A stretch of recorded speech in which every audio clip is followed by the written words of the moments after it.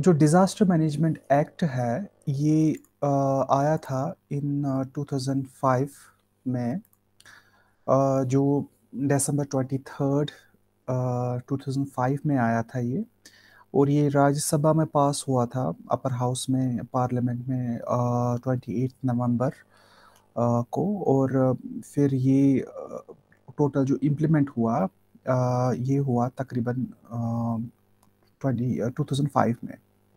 तो ये जो एक्ट है, ये है होल एंड सोल इसका जो फोकस है to provide the people who are affected with disaster जो भी लोग हैं, जो डिज़ास्टर से पीड़ित है, उनके लिए एक्ट बनाया गया है। इसमें बहुत सारे प्रोविजंस हैं, जो डिफरेंट जो है डिज़ास्टर्स के साथ, उसमें क्या प्रोटोकॉल्स रहेंगे, उसके साथ डील करता है। Who will be the I mean the authorities at national level state level local level और डिस्ट्रिक्ट लेवल कौन कौन सी अथॉरिटीज़ को पावर्स है इसमें रिगार्डिंग डिज़ास्टर मैनेजमेंट और इसमें बहुत सारी प्रोविजंस है कि लाइफ को वापस कैसे लाया जाएगा?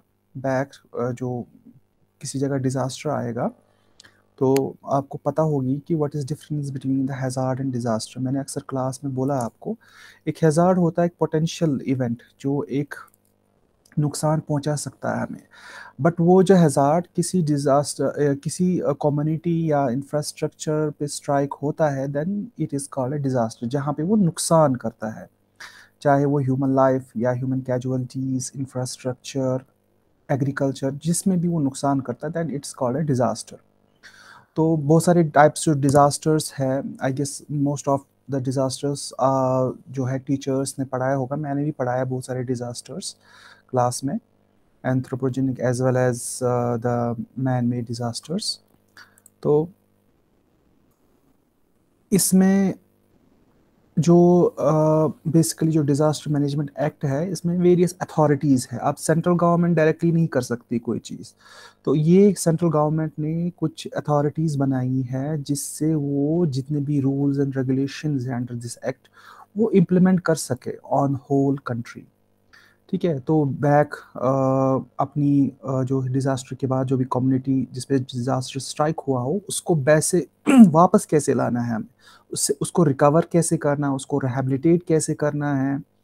या डिज़ास्टर जो एक प्री डिज़ास्टर जो फ़ेज़ होता है, उसको कैसे इम्प्लीमेंट करें? तो सारे प्रोविजंस इसमें हैं। तो ये जो डिज़ास्टर मैनेजमेंट एक्ट है it is based on 11 chapters और इन 11 चैप्टर्स में 79 सेक्शंस है। तो ये चैप्टर्स होते हैं फॉर एग्जांपल प्रिलिमिनरी की जो फॉर एग्जांपल जो डिफिनीशंस वगैरह होती हैं and then roles and responsible means कि 11 चैप्टर्स में पूरा डिस्कस किया जाता है। इसमें, ठीक है? तो इसके अलावा इसमें डिफरेंट अथॉरिटीज़ होती है जो हम एक एक करके डिस्कस करेंगे। जैसे नेशनल अथॉरिटी कौन होती है? नेशनल डिज़ास्टर मैनेजमेंट अथॉरिटी जिसको बोलते हैं द नेशनल एग्जीक्यूटिव कमेटी फिर ये तो नेशनल लेवल पे होते हैं। देन फिर स्टेट लेवल पे कौन होती है एंड देन डिस्ट्रिक्ट लेवल पे कौन होती है? उसको इम्प्लीमेंट करने वाली एजेंसीज कौन सी होती है? जैसे नेशनल डिज़ास्टर रिस्पांस फोर्स या स्टेट डिज़ास्टर रिस्पांस फोर्स तो इनके भी रोल्स एंड फ़ंक्शंस अलग अलग सेक्शंस में डिस्कस किए गए। तो अब हम इसको आगे जाके डिस्कस करेंगे। तो मैंने जो पहले ही कहा था आपको कि ये एक्ट जो है effective management of disaster for the matters connected जो भी डिज़ास्टर के रिलेटेड मैटर्स होते हैं जो डिज़ास्टर मैनेजमेंट जो साइकिल है ये तीन हिस्सों पे uh, हम डिवाइड करते हैं। पहले ही प्री डिज़ास्टर देन एक्चुअली जब डिज़ास्टर हो रहा होता है उसको हम डिज़ास्टर इवेंट बोलते हैं एंड देन पोस्ट डिज़ास्टर तो तीनों फेजेस में अलग अलग uh, जो है uh, जो होते हैं अलग अलग फेजेस होते हैं। जैसे हम प्री डिज़ास्टर में पीएमपी पे फोकस करते हैं। For example preparedness mitigation and prevention for example preparedness में हम पहले ही अपनी कम्युनिटी को प्रिपेयर करते करते हैं टूवर्ड सर्टन डिज़ास्टर्स देन अगर वो वहाँ पे डिज़ास्टर आएगा, उसका इम्पैक्ट कम करने के लिए तो उसको मिटिगेशन बोलते हैं। एंड देन हमारा प्रिवेंशन कैसे हम सर्टन डिज़ास्टर को प्रिवेंट कर सकते हैं टू द सर्टन जो कम्युनिटी है। देन एक्चुअली जब डिज़ास्टर हो रहा होता है उसमें uh, जो है क्या एक्टिविटी करनी है अपने आप को कैसे बचाना है and then post disaster activities भी कुछ कुछ चीज़ों पे डिपेंडेंट होती है। जैसे स्टार्टिंग में जब डिज़ास्टर आता है then we go for relief and rescue rescue and relief operations जिसमें हम लोगों को बचाते हैं देन उनको रिलीफ देते हैं। Relief in the form of food water medicine psychological counselling shelters वगैरह देते हैं। ये आता है सारा रिलीफ में। देन रिकवरी उनके लिए डिफरेंट जो है रिकवर करने के लिए अगर वो कम्युनिटी हम रिहेबिलिटेट नहीं करना चाहते। फॉर एग्जांपल वो किसी सेफर लोकेशन में है, बस फिर भी डिज़ास्टर वहाँ पे आता है। फॉर एग्जांपल फ्लड्स या अर्थक्वेक्स अब जब मानो आप कश्मीर वैली जोन फाइव में आती हैं then it is very highly जो है अर्थक्वेक प्रोन एरिया तो यहाँ पे हम पॉपुलेशन को रिहेबिलिटेट नहीं कर सकते. But we can do some measures कि अगर अर्थ अर्थक्वेक आ गया then we can go for the recovery rehabilitation होता है लॉन्ग टर्म उसमें दस साल, पंद्रह साल भी लगते हैं. कि फॉर एग्ज़ाम्पल किसी जगह सुनामी आती है या किसी जगह फॉर एग्ज़ाम्पल फ्लड्स आते हैं, वहाँ पे नुकसान होता है. उस नुकसान को या वहाँ पे जो कम्युनिटी है, उनको फिर से अपना जो है स्टेटस गेन करने के लिए जहाँ पे अपना लाइवलीहुड फिर से स्टार्ट करने के लिए बहुत टाइम लगता है। तो वो होता है लॉन्ग टर्म ठीक है? तो ये थे कुछ आ, पहले डिज़ास्टर मैनेजमेंट साइकिल के कुछ पार्ट्स जो मैं आपको बताना चाहता था जिस पे बेस्ड जो ये सारी आ, हमारा जो डिज़ास्टर मैनेजमेंट साइकिल होता है बेसिकली डिज़ास्टर मैनेजमेंट साइकिल से ही निकलता है डिज़ास्टर मैनेजमेंट एक्ट तो ये मैंने कहा था चैप्टर इसके 11 हैं and sections there are 79 sections तो ये पार्लियामेंट ने बनाया, जैसे मैंने अभी कहा, ये रिसीव प्रेसिडेंट ऑफ़ इंडिया ने मतलब इसका कंसेंट दे दिया है ये इम्प्लीमेंट हुआ है। ट्वेंटी दिसंबर 2005 और ये नोटिफाई हुआ है ट्वेंटी सिक्स दिसंबर 2005 और ये इफ़ेक्ट आया है। इन 2007 फ़र्स्ट अगस्त अगस्त 2007 में ये इफ़ेक्ट हुआ है पूरे इंडिया में। तो ये एप्लीकेबल है होल इंडिया पहले ये जम्मू एंड कश्मीर में एप्लीकेबल नहीं था बिकॉज़ ऑफ़ द आर्टिकल 370 तो उसके बाद आजकल ये पूरे इंडिया में इम्प्लीमेंट होता है बिकॉज़ ऑफ़ जो भी लॉज बनाते हैं। जैसे पार्लियामेंट कोई लॉ बनाता है तो उसको फिर पर्टिकुलर स्टेट में जो होता है एडमिनिस्ट्रेटिव लेजिस्लेटिव असेंबली होते हैं उनको पास करना होता है। तो उसके बाद ही वो उस स्टेट में इम्प्लीमेंट होता है। But due to the different constitution of Jammu and Kashmir earlier before ninety two thousand ये पूरा इम्प्लीमेंट नहीं होता था बट आज ये पूरा इम्प्लीमेंट होता है। तो अभी मैंने कहा ये comes to force as such date जो भी सेंट्रल गवर्नमेंट ने इसको ये मैंने कहा ना uh, ये कब इफ़ेक्ट हुआ फ़र्स्ट अगस्त 2007 में बट ये बना था 2005 में। इसको टाइम लगता है, क्योंकि इसमें डिफरेंट मशीनरीज होती हैं। उनको जो है बनाना होता है। मशीनरीज मींस कि कौन कौन सी एजेंसीज इसको इम्प्लीमेंट करेगी। ये कस जस्ट पार्लियामेंट में हम बोलेंगे कोई चीज़ ये एक्ट हो गया बट उसको चलाने वाली कोई मशीनरी होनी चाहिए ना, इसको टाइम लगता है, वो सब चीज़ें बनाने में। तो इसके बाद डिफरेंट डेट्स जो है अपॉइंटमेंट डिफरेंट जो प्रोविजंस वगैरह इसमें मीन वाइल हो गए थे। तो इसके चार लेवल्स है डिज़ास्टर मैनेजमेंट एक्ट में। ये जो डिज़ास्टर मैनेजमेंट एक्ट है, इसके चार लेवल्स है। एक तो नेशनल लेवल पे देन स्टेट लेवल पे then district and local level पे। ये आप याद रखना। अगर आपको नेशनल लेवल समझ आ गया then definitely all the three levels will be self understood तो मैं ज़्यादा फोकस दूँगा नेशनल लेवल पे तो state level and district level and local level आपको खुद समझ आ जाएगा। उसको भी मैं आपको बताऊँगा। दोस्तों नेशनल लेवल पे कौन कौन सी एजेंसीज होती है या कौन कौन सी बॉडीज होती है जो डिज़ास्टर मैनेजमेंट एक्ट को इम्प्लीमेंट करती है? ये जो मैं अभी प्रेजेंटेशन दे रहा हूँ दिस इज़ जैसे क्रैक्स जो नटशल में आपको डिज़ास्टर मैनेजमेंट एक्ट समझाता हूँ।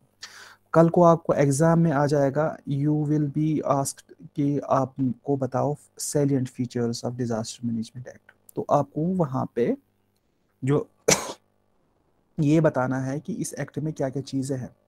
That I will provide you separately उसका जो नोट्स वगैरह मैं दे दूँगा आपको। बट मैं पहले आपको समझाऊँगा इस एक्ट के अंदर क्या क्या चीज़ें हैं क्या क्या चीज़ें एनफोर्स हुई है। तो first is at a national level that is national disaster management authority जो नेशनल डिजास्टर मैनेजमेंट अथॉरिटी जो है, ये अंडर सेक्शन थ्री में आती है। ये chapter two under section three फिर national executive committee section eight and advisory committee section seven में आती है। ठीक है? इनकी जो है रोल्स एंड रिस्पॉन्सिबिलिटीज इस सेक्शन में डिस्कस किए गए अंडर डिजास्टर मैनेजमेंट एक्ट। इतना आप याद रखो। अब जो फ़र्स्ट है, नेशनल डिजास्टर मैनेजमेंट अथॉरिटी, इसका जो प्रेसिडेंट, चेयरमैन होगा that will be the prime minister of the country कोई भी, किसी भी टाइम प्राइम मिनिस्टर जो होगा कंट्री का, वो इसका चेयरमैन होगा। फॉर एग्जांपल इस टाइम नरेंद्र मोदी जी है, वो है प्राइम मिनिस्टर ऑफ़ इंडिया तो इस time national disaster management authority के चेयरमैन वही है। देन नाइन मेंबर्स जो नॉमिनेट चेयरमैन खुद करता है अपने हिसाब से कौन उसको नॉमिनेट कर, करने होंगे नाइन मेंबर्स और उन नाइन मेंबर्स में से एक मेंबर वाइस चेयरमैन होगा ठीक है? तो टोटल यहाँ पे दस मेंबर्स होते हैं national disaster management authority nine members plus one chairman then इसके क्या रोल्स एंड रेस्पॉन्सिबिलिटीज यही है बेसिकली जो डिजास्टर मैनेजमेंट एक्ट जो होता है, उनमें जो रोल्स एंड रेस्पॉन्सिबिलिटीज मेंशन किए गए होते हैं डिफरेंट एजेंसीज के। अंडर दिस एक्ट ये एजेंसी ये करेगी ये करेगी under this section for example ये सेक्शन थ्री में आता है तो नेशनल डिजास्टर मैनेजमेंट अथॉरिटी जो है, इसके क्या काम है? First to lay down the policies on disaster management जो पॉलिसीज़ होती है रिगार्डिंग डिजास्टर मैनेजमेंट हमें किस आपदा में, किस डिजास्टर में क्या चीज़ करनी चाहिए, कैसे पॉलिसीज़ हमें बनानी चाहिए। देखो पॉलिसी होती है कि गवर्नमेंट किस दिशा में काम करेगी देन वो उसी से वो अपनी पॉलिसी मशीनरी को ओरिएंटेशन देती है। तो ये ओरिएंटेशन आती है फ्रॉम द जो लीडर्स होते हैं या कुछ लोग होते हैं जो एक्सपर्ट होते हैं इंडिया में जिसको एडवाइजर्स बोलते हैं। तो फिर इसका दूसरा काम है अप्रूव द नेशनल प्लान जो ये पॉलिसीज़ को ही इम्प्लीमेंट करने के लिए जो प्लान्स बनते हैं, उनको इम्प्लीमेंट करना। उनको अप्रूव करना कि कैसे वो इम्प्लीमेंट हो जाएँगे। तो ये अप्रूविंग एजेंसी यही होती है। Then approve plans made by ministries and departments of government of India. जो भी मिनिस्ट्रीज uh, में प्लान्स बनते हैं चाहे वो सेक्रेटरी लेवल का प्लान uh, हो या मिनिस्ट्री लेवल का तो ये प्लान फिर जाता है नेशनल डिजास्टर मैनेजमेंट अथॉरिटी के पास। रिगार्डिंग रिगार्डिंग द डिजास्टर्स ठीक है? तो वो फिर अप्रूव कौन करता है? यही जो प्लान्स अप्रूव करते हैं national disaster management authority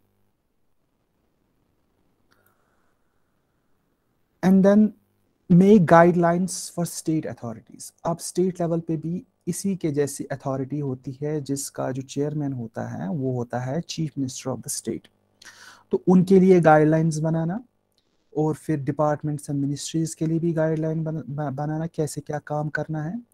तो ये खुद नहीं निकालती है गाइडलाइंस गाइडलाइन निकलता है, अगर आपने देखा होगा कोविड 19 में जो गाइडलाइंस निकलती थी फॉर कि हमें कौन से कौन से बिज़नेस स्टार्ट करने हैं नाइट कर्फ्यू करना है स्कूल कॉलेज खोलने कि नहीं खोलने अक्सर उसमें लिखा होता है स्टेट एग्जीक्यूटिव कमेटी या नेशनल एग्जीक्यूटिव कमेटी तो वो, ये जो प्लान्स बनाते हैं national disaster management authority executing agencies होती है डिफरेंट उसमें डिफरेंट जो है मेंबर्स होते हैं, वो हम इसके बाद डिस्कस करेंगे।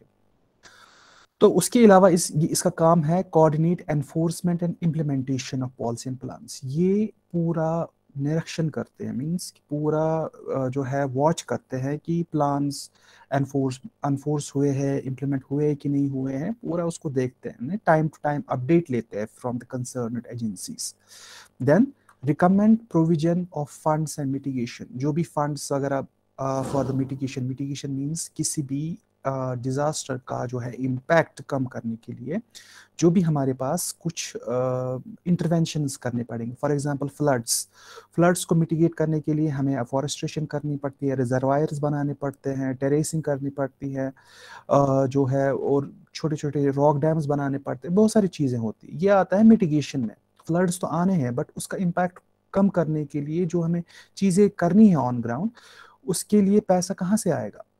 ये एजेंसी वो रिकमेंड करती है कि ये पैसा जो भी बजट बनता है तो बजट में ही ये पैसे एलोकेट किए जाते हैं फॉर मिटिगेशन खाली प्लान्स पॉलिसीज़ बनाने से कुछ नहीं होता है बट पैसा भी मैटर करता है, उसको डाइवर्ट करना पड़ता है चैनलाइज करना पड़ता है पैसे को.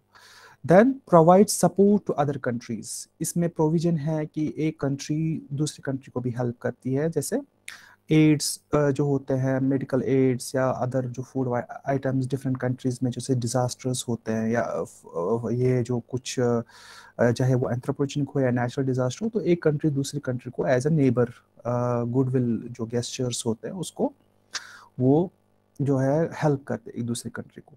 Then capacity building and make policies for national institute of disaster management मैंने अक्सर आपके ग्रुप्स में, मैं छोड़ता रहता हूँ links national institute of disaster management इसमें कैपेसिटी बिल्डिंग एक है। कैपेसिटी बिल्डिंग होता है कि आप लोग जो है अवेयर हो जाएँगे रिगार्डिंग वेरियस डिज़ास्टर्स आप में से आपको पता होगा कि सर्टन डिज़ास्टर्स में हमें क्या करना है कोऑर्डिनेशन एंड कम्युनिकेशन कैसे करनी है।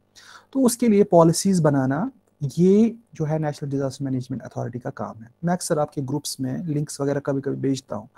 उसको आप अगर अटेंड करेंगे you will get a certificate from that agency national institute of disaster management then second body is national executive committee जो plans national disaster management authority ने बनाए हैं तो वही इनको इम्प्लीमेंट करने हैं। तो government of India will constitute national executive committee to assist national disaster management authority इसका जो जो होता है ना, ये चेयरपर्सन वो होता है secretary to ministry of home affairs जो यूनियन जो है मिनिस्ट्री ऑफ़ होम अफेयर्स होती हैं, उसका जो सेक्रेटरी होगा, वो इसका चेयरपर्सन होगा। किसी भी टाइम जो भी होगा, वो इसका चेयरपर्सन होगा। And then secretary uh, uh, जो होते हैं डिफरेंट डिपार्टमेंट्स के नेशनल लेवल पे जो यूनियन गवर्नमेंट होती है उसके जो सेक्रेटरीज होते हैं department of agriculture atomic energy drinking water defence environment forest finance health power rural ये भी जो होते हैं टेली जो भी डिपार्टमेंट्स रिलेटेड होते हैं टुवर्ड्स सर्टन डिजास्टर ये इसके मेंबर्स होते हैं secretaries then chairman can invite any officer or government taking part in this meeting. जब भी इसकी मीटिंग होती है फॉर एग्ज़ाम्पल कोविड 19 में हमें गाइडलाइंस बनानी है तो national disaster management authority guidelines बनाती है तो ये भी होती है एग्जीक्यूट कैसे करना है? तो गवर्नमेंट ऑफ़ इंडिया किसी को भी बुला सकती है मीटिंग में जो है कि हमें कैसे क्या इम्प्लीमेंट करना है। Government of India will prescribe powers and functions to national executive committee अब ये गवर्नमेंट ऑफ़ इंडिया यहाँ पे कौन सा है? ये है disaster national disaster management authority यही बनाएगी इसके क्या पावर्स है? किस एक्ट में? ये सेक्शन मैंने अभी बताया सेक्शन एट में आते हैं इसके ना, पूरे रोल्स एंड रिस्पॉन्सिबिलिटीज़ तो इसमें क्या क्या आता है? कैन कंस्टिट्यूट वन और मोर सब कमिटीज ये नेशनल एग्जीक्यूटिव कमेटी में एक से ज़्यादा सब कमिटीज हो सकती हैं और member of the national executive committee will be the chairman of sub committees तो ये जो मेंबर्स होते हैं ये sub committees members of national executive committee के जो मेंबर्स uh, होते हैं वो इन सब कमिटीज़ के चेयरमैन हो सकते हैं। तो इसमें डिफरेंट एक्सपर्ट्स भी आ सकते हैं इन रिलेवेंट फ़ील्ड चाहे वो मेडिकल फ़ील्ड के हो, चाहे जोग्राफी जियोलॉजी या एनवायरमेंटल फ़ील्ड के हो, या एग्रीकल्चर फ़ील्ड के हो, या डिफेंस रिलेटेड फ़ील्ड है, उसमें भी एक्सपर्ट्स को बुला सकते हैं। अब इसके क्या फ़ंक्शंस है? Act as a coordinating and monitoring body जितने भी जो है पॉलिसीज़ एंड प्लान्स बनते हैं, उनको वो करता है कोऑर्डिनेट एंड मॉनिटर करता है। कैसे क्या implement prepare national plan national plan as per the policies and guidelines of the national disaster management authorities ये guidelines बनाता है then implement the national policy मैंने कहा ना ये implement execute करता है तो guidelines for the departments of government of India जो भी डिफरेंट डिपार्टमेंट्स होते हैं चाहे एग्रीकल्चर हो टेलीकम्युनिकेशन हो डिफेंस हो एनवायरनमेंट फॉरेस्ट हो ये सब के लिए गाइडलाइंस बनाते हैं तो उसके बाद ये टेक्निकल असिस्टेंस प्रोवाइड करता है to the state disaster state governments for the disaster management plans then implement national plans and plans of ministries of government of India then integrate preventive and mitigation measures in the departments ये मैंने अभी आपको starting में ही बोला था जो pre disaster में जो एक्टिविटीज़ होती है प्रिपेयरनेस प्रिवेंशन एंड मिटिगेशन ये उन चीज़ों को इंटीग्रेट करता है मीन्स मिलाता है अलग अलग नहीं करेंगे। वो सब चीज़ें बट उसको इंटीग्रेट करता है एक साथ उसको कैसे ग्राउंड में इम्प्लीमेंट किया जाएगा। और ये मॉनिटर एंड डायरेक्टर करता है मिनिस्ट्रीज एंड डिपार्टमेंट्स को और अदर एजेंसीज को। Then evaluate preparedness of all governments preparedness को इवेलुएट करता है। फॉर एग्जांपल प्रिपेयर्डनेस क्या होता है? फॉर एग्जांपल हमारे कॉलेज में फॉर एग्जांपल वहाँ पे फायर्स है। तो हमारे कॉलेज में फायर एक्सटिंग्विशर्स लगे हैं फायर फाइटिंग सिस्टम है कि नहीं फायर हाइड्रेंट्स लगाए हैं कि नहीं, लगाए।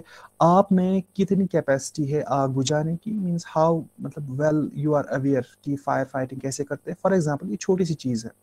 तो इन चीज़ों को इवेलुएट करते हैं वो through different agencies government level जो है, ये एजेंसी ये इवेलुएट करती है। Then plan and coordinate specialise training programmes जो हमने स्पेशलाइज ट्रेनिंग प्रोग्राम्स मैंने अभी बताया आपको national institute of disaster management बहुत ही एक्सटेंसिवली जो है ट्रेनिंग प्रोग्राम्स ऑर्गेनाइज करते रहते हैं। हर वीक प्रोग्राम्स चलते रहते हैं every week then coordinate response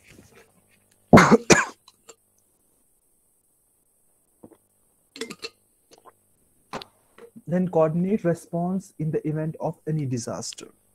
तो जो भी कोई डिजास्टर आएगा नेशनल लेवल पे उसको कोऑर्डिनेट करते हैं अमंग द वेरियस स्टेट्स जैसे कोविड 19 ये वाइड स्प्रेड था पेंडेमिक था it was spread to whole country and whole world so इसमें क्या डायरेक्शंस है टू द स्टेट गवर्नमेंट्स कैसे वो काम करेंगे ये पूरा कोऑर्डिनेट करता है। देन uh, ये प्रोवाइड करता है अवेलेबल करता है एनी रिसोर्स और इंफॉर्मेशन चाहे वो in the form of funds हो चाहे in the form of human resource हो ये प्रोवाइड करता है। तो ये थे कुछ फ़ंक्शंस uh, इसके अलावा ये एडवाइस असिस्ट करता है देन नेसेसरी असिस्टेंस प्रोवाइड करता है टू द स्टेट गवर्नमेंट और अदर डिपार्टमेंट्स प्रमोट करता है general awareness education on disaster management और जो भी अदर कोई पर्टिकुलर या स्पेशल गाइडलाइन होगी from national disaster management authority उसको परफॉर्म करता है।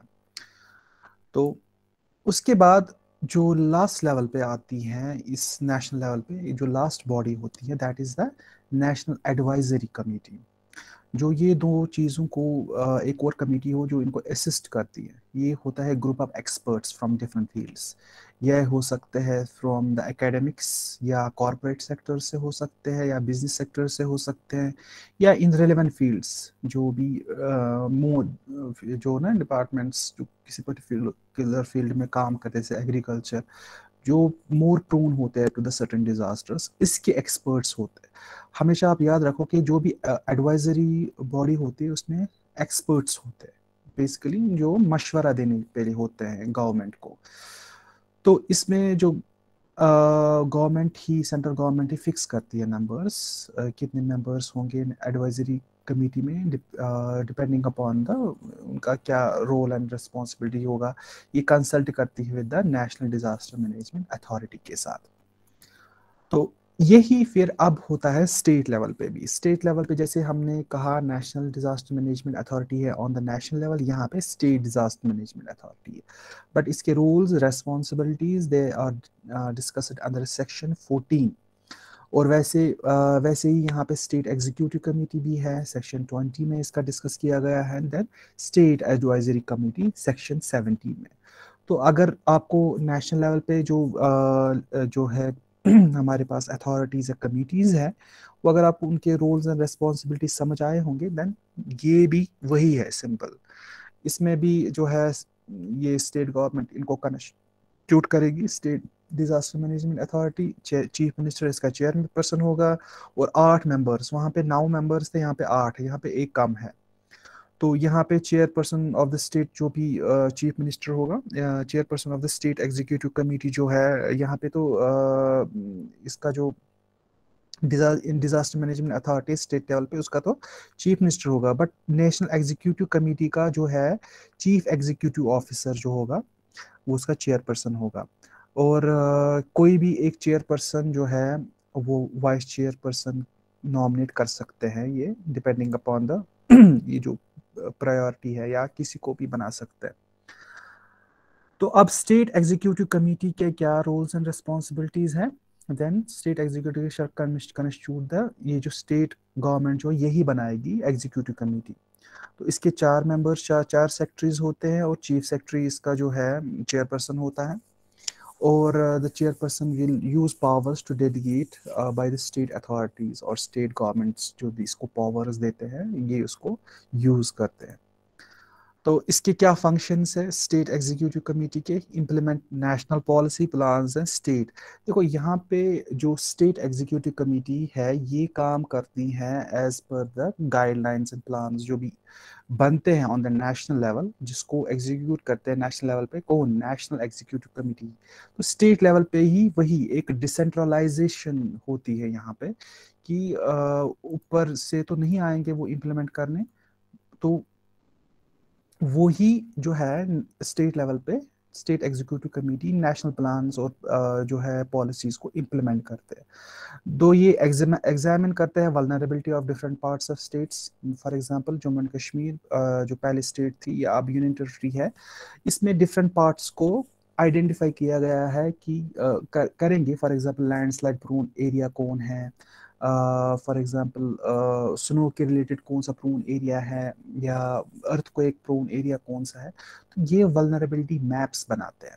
तो फिर ये गाइडलाइंस बनाते हैं जो the consultation different departments because यहीं से जब डेटा जा, डेटा जाएगा नेशनल लेवल से स्टेट लेवल से ऊपर जाएगा नेशनल लेवल तक तभी वहाँ से पॉलिसी एंड प्लान्स बनेंगी। हमारे पास जो है ग्राउंड लेवल पे जो क्या चीज़ें हो रही है तो स्टेट लेवल पे दो हमारे पास स्टेट एग्जीक्यूटिव कमेटी जो है, ये इम्प्लीमेंट करती है प्लान्स जो भी बनते हैं देन वो further state executive committee district level पे मतलब उसको डिसेंट्रलाइज करते हैं। फिर डिफरेंट डिस्ट्रिक्ट्स जो होते हैं, उसको अपने हिसाब से इम्प्लीमेंट करते हैं।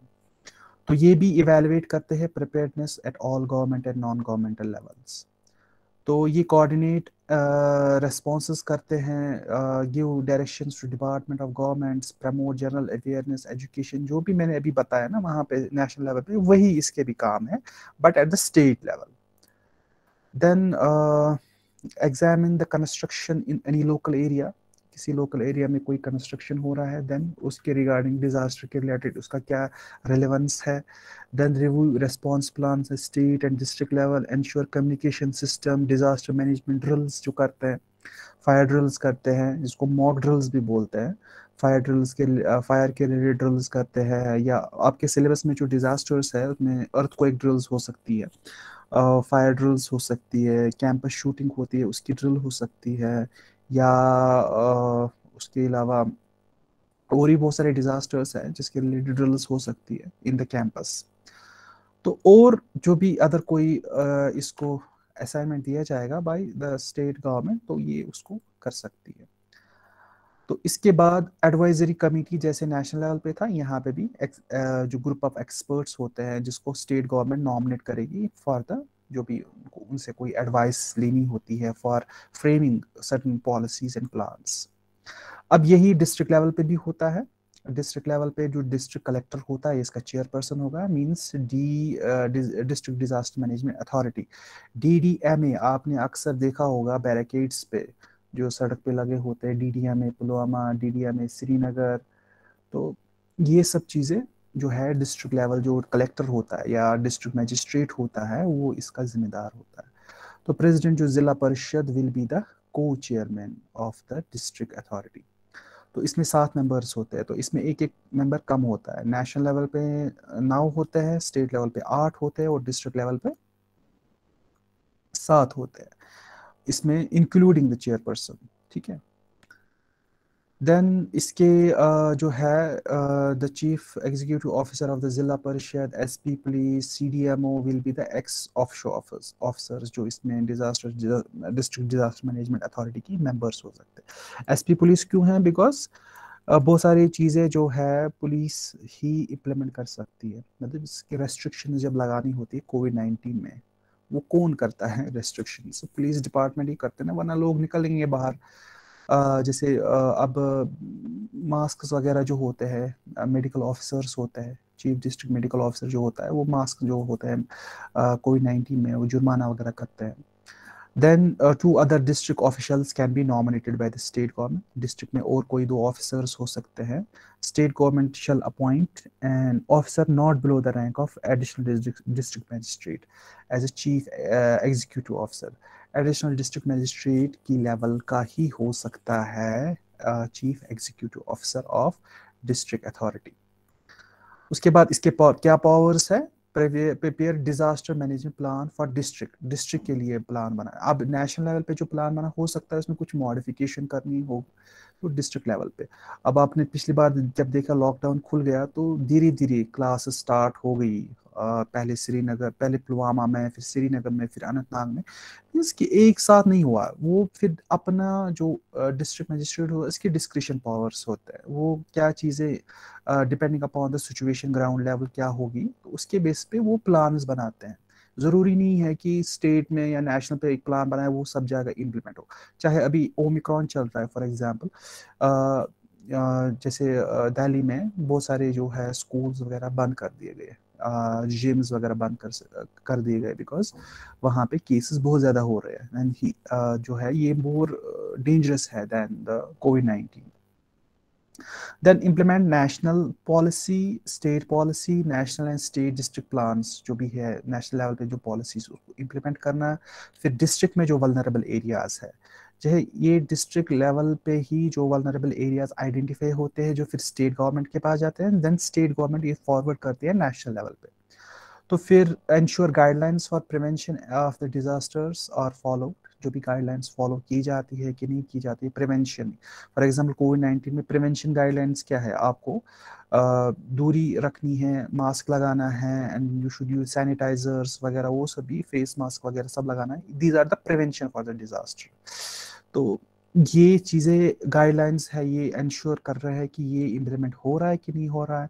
Give direction to the different authorities at district level अब जब अथॉरिटीज़ डिफरेंट होती है, कौन सी है? फॉर एग्जांपल स्कूल्स स्कूल्स खोल नहीं सकते हैं तो उनको डायरेक्शन देता है डीएम हम आप कॉलेज खोल सकते हैं। हम हमें टाइम टेबल दीजिए। तीन दिन फॉर एग्जांपल एक सेमेस्टर को तीन दिन दूसरे सेमेस्टर को ऐसे नहीं एक साथ सबको मतलब ऐसे बुलाया जाएगा। तो यूनिवर्सिटीज़ को भी देते हैं डायरेक्शंस अगर आपको एग्जामिनेशन करने हैं तो यू शुड फॉलो द जो भी कोविड प्रोटोकॉल्स फॉलो करने तो ये पूरा इंश्योर करते हैं। एंड देन इसके uh, powers भी वही है lay down guidelines for the prevention of disaster monitoring implementation of disaster management plan prepare guidelines to be followed by the departments review preparedness वही सब जो national level पे जो काम होते हैं वही district level पे भी होते हैं इनके काम coordinate and response mechanism तो उसके बाद जो नेशनल प्लान है एक और था यहाँ पे लोकल लेवल पे लोकल अथॉरिटीज़ अब जो होते हैं ना डिस्ट्रिक्ट लेवल पे भी सब अथॉरिटीज़ होते हैं। उनको भी डिसेंट्रलाइज जैसे ब्लॉक लेवल पे एक डिस्ट्रिक्ट में बहुत सारे ब्लॉक्स होते हैं। तो उन ब्लॉक्स में भी ये चीज़ें इम्प्लीमेंट होती है एज uh, जो इम्प्लीमेंट होती है कैसे? जैसे नेशनल लेवल पे डिस्ट्रिक्ट लेवल पे या स्टेट लेवल पे। तो ये था आपका जो है crux of the disaster management act उसके अलावा इसमें और भी बहुत सारी एजेंसीज है, जैसे इसमें नेशनल डिज़ास्टर रेस्पॉन्सिव फोर्स जिसकी जिसके पावर्स सेक्शन 44 टू 45 में डिस्कस किए गए हैं। तो ये इसका जो पर्पस है और इसका जो ये रेस्पॉन्ड करता है टुवर्ड्स सर्टन डिज़ास्टर जैसे फ्लड्स आते हैं किसी जगह। तो ये उस जगह पहुँचते हैं एंड देन वहाँ पे रिलीफ एंड रेस्क्यू ऑपरेशन चलाते हैं। तो ये काम करते हैं अंडर द डायरेक्टर जनरल जो भी अपॉइंट सेंट्रल गवर्नमेंट करती है। तो जैसे इन सितंबर 2014 कश्मीर फ्लड्स में एनडीआरएफ अलॉन्ग विद जो आर्मड फोर्सेस थे उन्होंने अच्छा रोल निभाया एज पर द जो पब्लिश डेटा है। uh, उसमें उन्होंने रेस्क्यू किया लोकल्स को टूरिस्ट्स को तो इनका ये रोल है। वैसे ही डिस्ट्रिक्ट लेवल पे भी होती है। नहीं स्टेट लेवल पे होती है। उसको हम state disaster manage responsive force बोलते हैं। जो जो है स्टेट पे काम करते हैं। उसमें भी उनका बहुत सारा काम होता है। उनका यही काम नहीं होता रिलीफ एंड रेस्क्यू बट उनको ये भी होता है कि वो डिफरेंट डिज़ास्टर के रिलेटेड आपको ट्रेनिंग्स देंगे। जैसे पिछली बार हमें भी एक ट्रेनिंग प्रोग्राम था बट दैट वाज पोस्टपोन जो under the state disaster management ये था response force S D R F state disaster response force उसमें हाँ डिफरेंट जो भी फॉर एग्जांपल किसी को स्विमिंग नहीं आती स्विमिंग सिखाते हैं इन केस ऑफ़ फ्लड्स आप कैसे बचाओगे इन केस ऑफ़ फ्लड्स किसी को कोई पानी में फंस गया तो आपको उस टाइम खुद स्विमिंग आनी चाहिए। ऐसा नहीं है कि आप खुद नहीं आती है स्विमिंग किसी को बचाने जाओगे खुद आप खतरे में अपने आप को डालोगे। उसके अलावा इसमें सेक्शन uh, 42 में establishment of national institute of disaster management national institute of disaster management का सबसे बड़ा रोल है for the awareness and education regarding the disasters तो ये सेक्शन 42 में इसके जो है एस्टेब्लिशमेंट इसके रोल्स एंड रेस्पॉन्सिबिलिटीज़ क्या होंगी, वो इसमें डिस्कस किया गया है। एंड देन सेक्शन 46 टू 50 इसमें फंड्स वगैरह, जो डिज़ास्टर मैनेजमेंट के रिलेटेड कहाँ से फंड्स वगैरह आ जाएँगे, वो डिस्कस किया गया है। तो इसके बाद और भी इसमें एक्ट्स है, जैसे ये प्रोवाइड करता है फॉर सिविल और criminal liabilities for those who मतलब जो वायलेट करते हैं इस एक्ट को। जैसे कोविड नाइन्टीन में कोई मास्क के बिना बाहर जाएगा, उसको वो वायलेट करता है डिजास्टर मैनेजमेंट रूल्स को वहाँ पे एक्ट को वहाँ पे तो उसको पेनल्टी लग सकती है। तो ये था इन शॉर्ट कि डिज़ास्टर मैनेजमेंट जो है बट इसके कुछ क्रिटिक्स भी है एक्ट के। तो इसमें basically the act has been criticised for marginalising non governmental organisations इसमें नॉन गवर्नमेंटल ऑर्गेनाइजेशंस का रोल बहुत कम बताया गया आप देखोगे कि नेशनल लेवल पे भी गवर्नमेंट ऑफिशियल्स होते हैं स्टेट लेवल पे भी डिस्ट्रिक्ट लेवल पे भी लोकल लेवल पे भी गवर्नमेंट ऑफिशियल्स होते हैं। यहाँ पे जो नेश नॉन गवर्नमेंटल ऑर्गेनाइजेशंस का रोल बहुत ही कम बताया गया या लोकल लेवल पे जो इलेक्टेड लोकल रिप्रेजेंटेटिव होते हैं लोकल कम्युनिटीज़ होते हैं सिविक ग्रुप्स होते हैं या ब्यूरो मतलब जो भी uh, ये है ये बॉडीज इनको थोड़ा सा मार्जिनलाइज किया गया।